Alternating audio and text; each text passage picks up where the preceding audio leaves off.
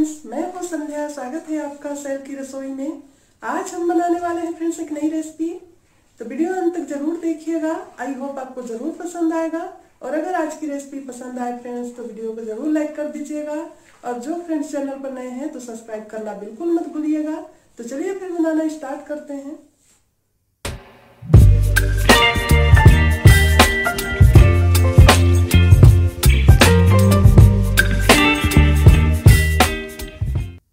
आज हम बना रहे हैं फ्रेंड्स प्रेशर कुकर में चावल। तो आज हम डेढ़ किलो चावल प्रेशर कुकर में बनाएँगे। कई बार होता है कि पानी का सही माप पता नहीं होता तो जिससे क्या होता है कि चावल जो है अच्छे से नहीं बन पाता, कई बार कच्चा रह जाता है, कई बार ओवर कुक हो जाता है। तो अगर आप प्रेशर कुकर में चावल कभी नहीं बनाए हैं तो आप आराम से बना लीजिएगा इस वीडियो को देखने के बाद में। तो चलिए फिर स्टार्ट करते हैं। यहाँ मैंने लिया है फ्रेंड्स डेढ़ किलो चावल। तो ये जो डेली रूटीन में हम चावल खाते हैं, वही चावल मैंने लिया हुआ है। तो ये मोटा चावल नहीं है, थोड़ा पतला चावल है और एकदम बारीक वाली चावल भी नहीं है मीडियम साइज़ का चावल है। तो मैंने वही चावल लिया है, आप जो अपने घर में खाते हैं, वही चावल ले लीजिएगा। तो सबसे पहले हम क्या करेंगे फ्रेंड्स कि एक बड़ा बर्तन लेंगे और उसमें हम पूरा चावल को अच्छे से नाप के डालेंगे।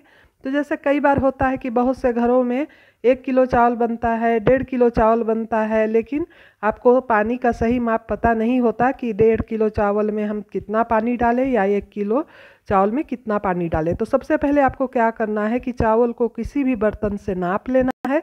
तो जैसे ये डेढ़ किलो चावल है तो इसे हम एक गिलास से नाप लेंगे। तो आप कोई भी गिलास ले लीजिएगा। तो ये देखिए, एक गिलास ये चावल हुआ।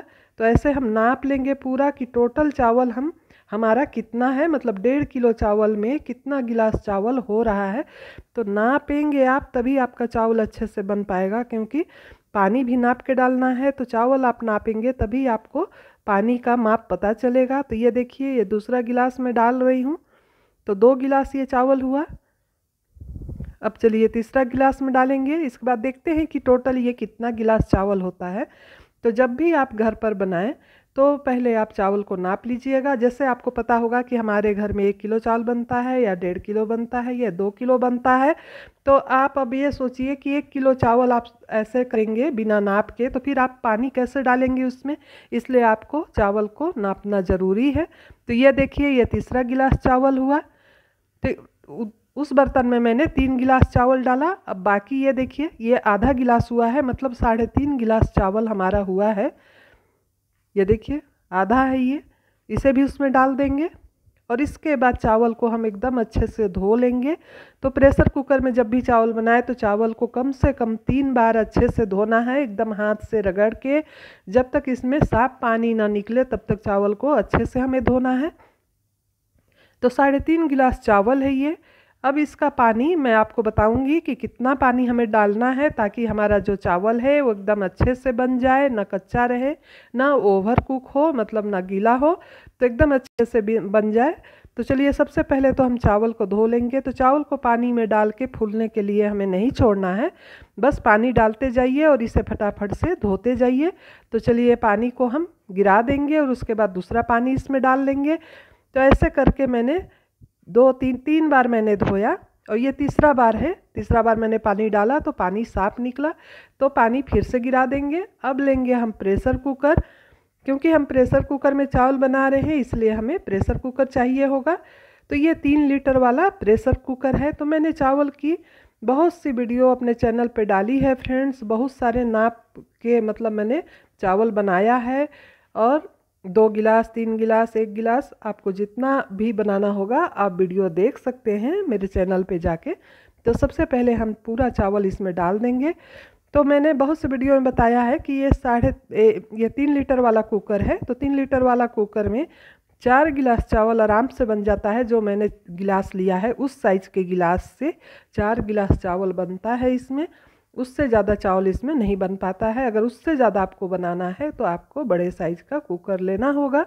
तो सबसे पहले इसमें पूरा चावल डाल देंगे। चावल डालने के बाद में इसमें हमें पानी डालना है नाप के। कुकर में चावल बनाना बहुत आसान है। अगर आप एक बार बना लेंगे तो फिर आप हमेशा प्रेशर कुकर में ही चावल बनाएँगे। इससे क्या होता है फ्रेंड्स की गैस की बहुत बचत हो जाती है इससे, और समय भी कम लगता है, खाना फटाफट से बन जाता है। तो पूरा चावल अच्छे से हमें पहले डाल देना है। और इसके बाद इसमें डालेंगे पानी। तो यहाँ साढ़े तीन गिलास चावल हमारा टोटल हुआ है नापने के बाद में। तो इसमें हम पानी डालेंगे साढ़े पाँच गिलास। तो चलिए नाप के हम पहले उसी गिलास से पानी डालेंगे। जिस बर्तन से आप चावल नाप करिएगा, उसी बर्तन से आप पानी डालिएगा, अलग बर्तन से पानी मत डालिएगा। तो पूरा चावल ऐसे मैं डाल देती हूँ अच्छे से ताकि थोड़ा भी वेस्ट ना हो। तो पूरा चावल डाल दिया। अब चलिए पानी डाल देते हैं। तो इसमें हम साढ़े पाँच गिलास पानी फटाफट से नाप के डाल देते हैं। उससे ज़्यादा पानी हमें इसमें नहीं डालना है, ना कम डालना है। साढ़े पाँच गिलास पानी हमें डालना है साढ़े तीन गिलास चावल के लिए। तो इसी गिलास से हम पानी की नाप करेंगे और इसके बाद फटाफट से हमें इसे गैस के ऊपर चढ़ा देना है। तो मैंने बहुत से वीडियो में बताया है कि कितना चावल के लिए गैस का फ्लेम कैसा रखना चाहिए, कितना सीटी लगाना चाहिए, कितना पानी डालना चाहिए। तो चलिए पानी डाल देते हैं। तो ऐसे फूल भर भर के हमें साढ़े पाँच गिलास पानी डालना है, पाँच गिलास पूरा और फिर आधा गिलास डालेंगे। और इसके बाद हमें एक सीटी लगानी है, एक सीटी से ज़्यादा हमें नहीं लगाना है। एक सीटी से ज़्यादा आप लगाएँगे तो फिर चावल जो है वो ओवर कुक हो जाएगा। तो जब भी आप प्रेशर कुकर में चावल बनाएँ और गैस के ऊपर चढ़ाएँ तो आप कहीं भी रखें, थोड़ा ध्यान रखिएगा कि सीटी जब आए तो आप तुरंत गैस को बंद कर दीजिएगा। अब ये नहीं कि आप गैस तक पहुँचे, तब तक दो तीन सीटी आ गई तो इससे क्या होगा कि चावल जो है ओवर कुक हो जाएगा। तो कई लोग शिकायत करते हैं कि चावल हमारा गीला हो जाता है या फिर चावल हमारा कच्चा हो जाता है। तो आप सही नाप से और सही फ्लेम रखेंगे गैस का तो आपका चावल कभी कच्चा नहीं होगा, ना ज़्यादा पकेगा। तो चलिए पानी मैंने पूरा डाल दिया, अब इसका ढक्कन लगा देंगे फटाफट से और उसके बाद गैस के ऊपर चढ़ा देंगे।